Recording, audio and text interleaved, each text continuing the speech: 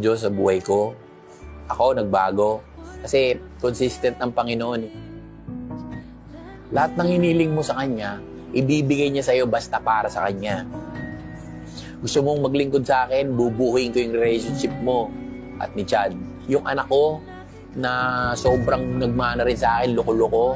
Ngayon, ginagamit na rin ng Panginoon. Lahat kami. Binuo ni Lord yung buhay ko at binubuo ni Lord araw-araw yung testimony ko.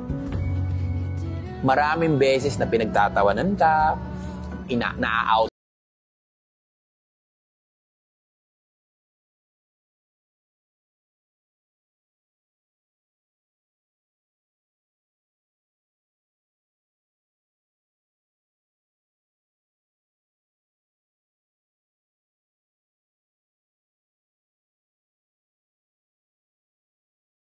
nakikita ko yung yung ano yung, yung progression ng buhay ni Kuya Jobert. Makikita mo yung grace ni Lord.